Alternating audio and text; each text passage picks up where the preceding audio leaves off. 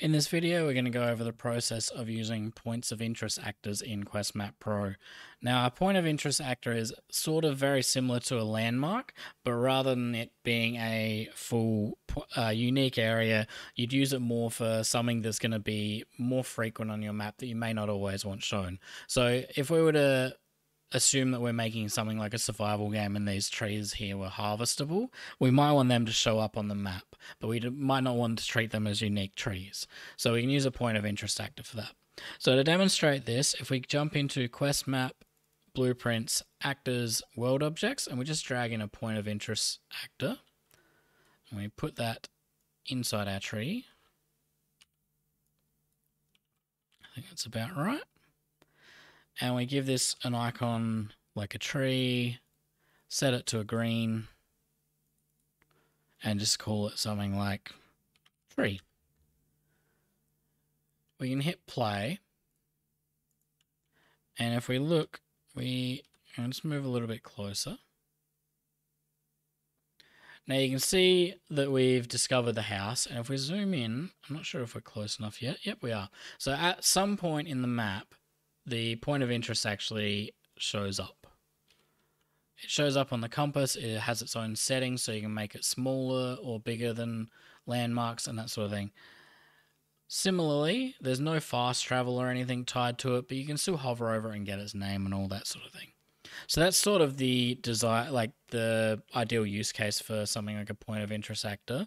We can control how it works by going into the controller, and if we hit if we look at our manager, we can scroll down to the markers, POIs. We can use the colors from actor, which is set to true by default. Otherwise, you can set them all to the same color. Other than that, both the map and the compass have their own settings. So in the compass, for instance, we can disable points of interest entirely. And that will make it so that when we get there, the point of interest will still work. It will still show up on the map, but you can see it's not showing up on our compass. It's on our mini map. We can zoom in to get a closer look at that. And we can see it on the world map when we zoom in far enough there, but it's not showing up on the compass. Likewise, you can control that on the maps as well. So we set that back to true, go to the maps. We can use, set what shows up on the world map using the visibility flag. So we've got points of interest here.